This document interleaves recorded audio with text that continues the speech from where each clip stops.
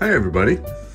So I thought I'd jump on uh, Brian from Got Fuel's Model Car Garage challenge to show off our workspace. So I thought I'd do that. Uh, first of all, I share a spot with my wife when she's working from home. Uh, she sits across from me over in this area. Um, she has also got her personal computer and stuff sitting there. And obviously I sit over on that side. But first I thought I'd just kind of take you around the room, just show you my hobby area. So up here in each one of these boxes are all of my unpainted miniatures for wargaming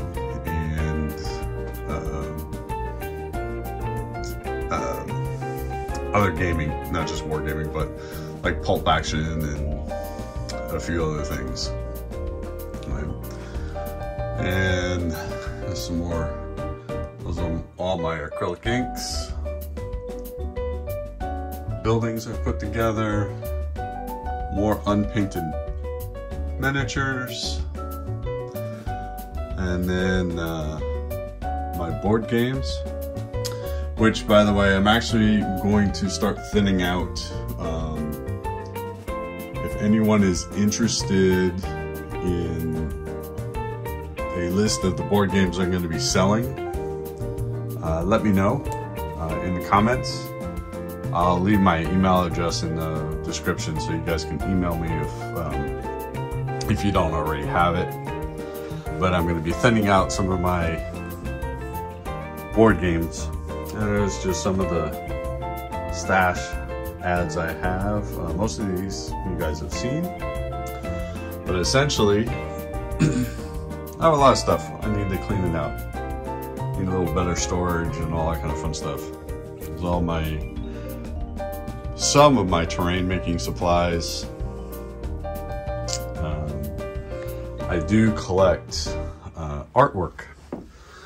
So when I go to um, the Rose City Comic Con, I buy art.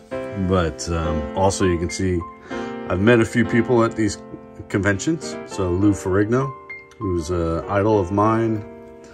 And then uh, some other pieces of art where I've picked up.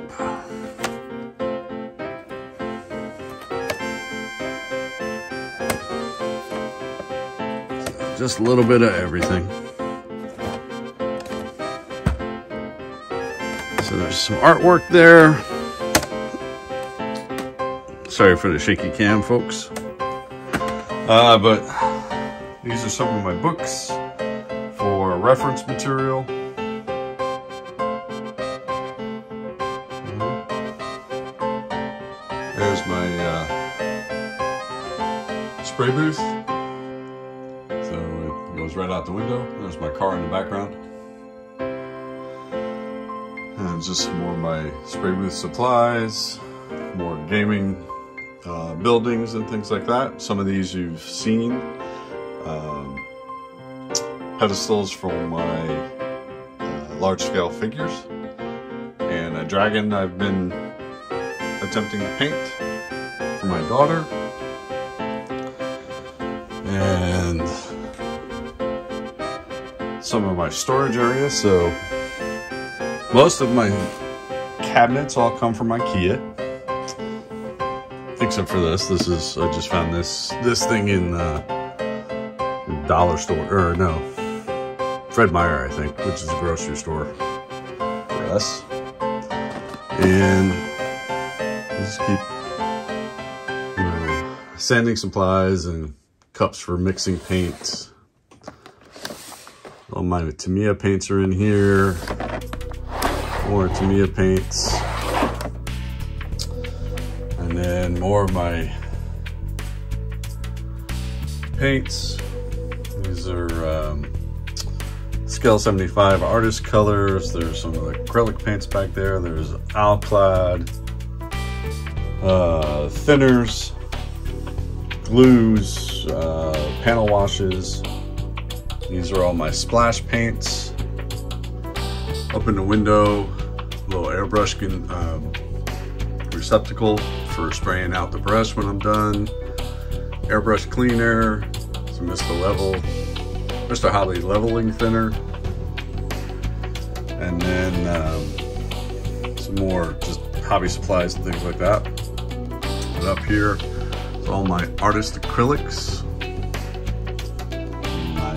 oil paints for my large scale figures. And then up in here, all of my um, hobby colors. Excuse me. So like Scale 75, um, Kimera, AK, Interactive, Andrea colors. Uh, up on the top there's um, primers, there's gloss varnishes, there's uh, flow improver, uh, there's um, ooh, what am I looking for? What's the word I'm looking for here? Uh, stuff for my oil, oil paints for thinning those, um, different varnishes for oils. Oh, and these are figures I've collected. Uh, some gifts that I've gotten from my daughter. She painted this little octopus for me and she got me that when they were in, my wife and daughter went to uh, Disney. And up here you can see my uh, Bigfoot, which is my uh, little sign that I put up in front of my videos. Build-A-Bear my daughter did for me. Bunch more of the artwork I've purchased. Obviously I'm gonna put up more of it. But uh, down here is just more reference material. Up in here is all my uh, large scale figures that I need to paint. More reference material, paper towels, some more hobby paints. Down in here are miniatures. Uh, these are all planes. There's some more board games down there. And then there's some, and then these are all uh, gaming rules that I own, along with more reference material. Down in here is all painting reference materials, more painting reference stuff down here. Uh, some of the comics I've collected, which need to go in a box. Over here, uh, more painting reference material, along with DVDs for TV series, a TV series that I like. Uh, my wife uh, crochets, and she makes these amigurumi um, figures. Little bee. She makes wonderful stuff. And, oh yeah, there's my computer with my, uh, that would be a dream car. And then my workbench. So when I shoot a video, I actually use this tripod that you see in front of you, in front of my desk, or I use this arm, which uh, I actually saw on Justin's uh, channel, JH Model Works. Uh, he had pointed this out in one of his videos and I picked that up. So I use this on occasion as well. Sorry, put stuff around. Sorry for the shaky cam. My airbrushes, but uh, this is my desk. And so I have the brushes in the round container are all my oil paints, or for my oil paints. Everything here in the rectangular one for acrylics. Ones back here are um, holders and crap brushes or really cheap brushes that I would use for terrain making, things like that. Hobby supplies. And Q-tips for cleaning the airbrush and other things. Over here you'll see there's lacquer thinner, acetone, pledge uh, for um, you know the floor polish. And know, over there are some figures, the submarine that I did. This is a fun little piece. Bring this over here. This is called. Oops. Batwoman finishing up on. This is called a paint puck. And what's nice about this is a it'll hold your brushes so that when you're drying a brush, you can put it point down so the water drips down away from the ferrule. But inside it has those little scrubbers so when you finish painting, right, you go to rinse it off, you can put it in there to rinse the, really scrub the bristles out and get all that paint out of there. So that really works well. And you can find those online. It's called the Paint Puck and some miscellaneous uh, solvent jars, things like that. Uh, there's Batwoman.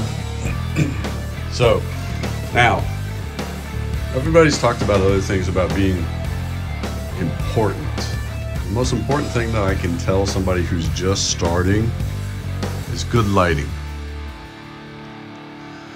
So this light I found on Amazon and it's a photography light.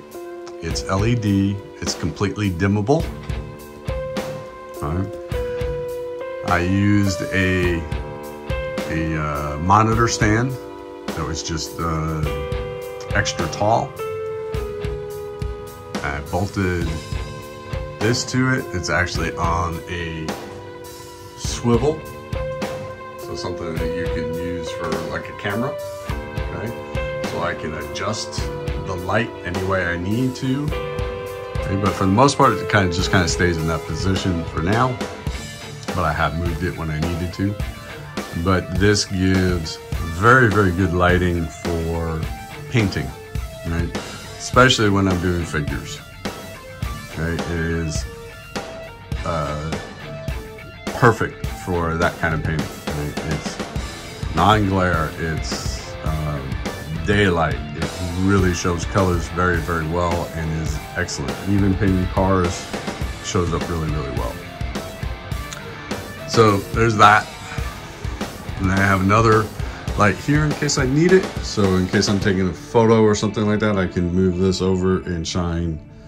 I can shine the lights in this direction, okay?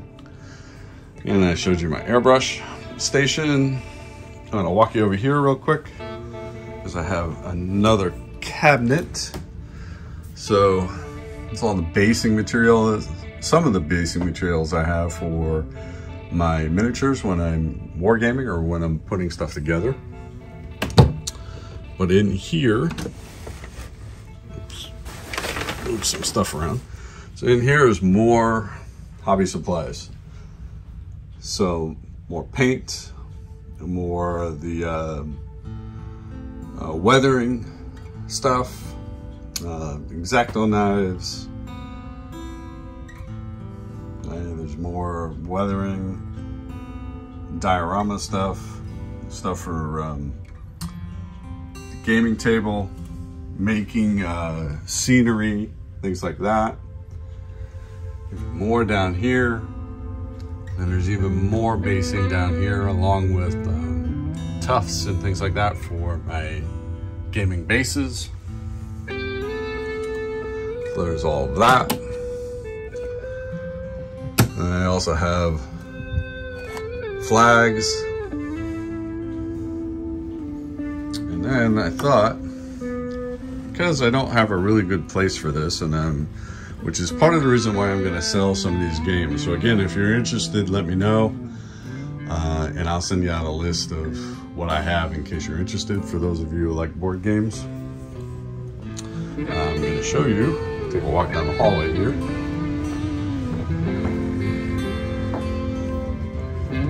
This is my, my hallway closet. You see I kind of took some of the stuff over with my model stash.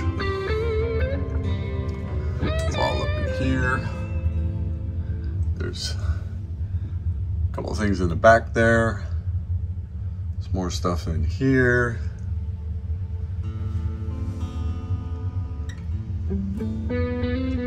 Some family board games, things like that. More of my models. Family board games.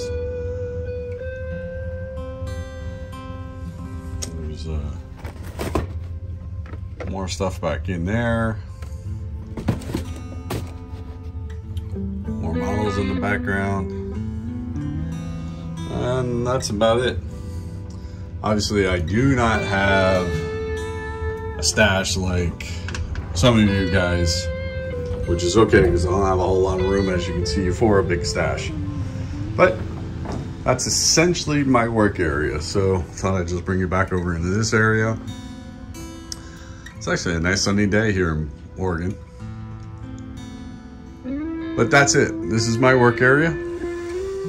I have uh, probably one of the best gaming chairs, or it's the best chair, not gaming chair, but best chair I've ever had for my work area. And it's a gaming chair.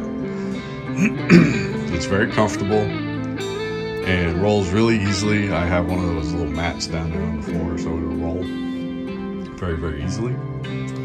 Um, yeah, so I hope you liked the tour. I do have some storage and things like that down under here uh, for miscellaneous car parts, things like that. But uh, yeah, that's it. So I hope everybody is doing well. I hope you find this uh, interesting and informative. If you have any questions about anything you saw, let me know and I'll uh, answer them in the comment section. Okay? So everybody uh, have a great, wonderful weekend and I will talk to you all real soon. Bye.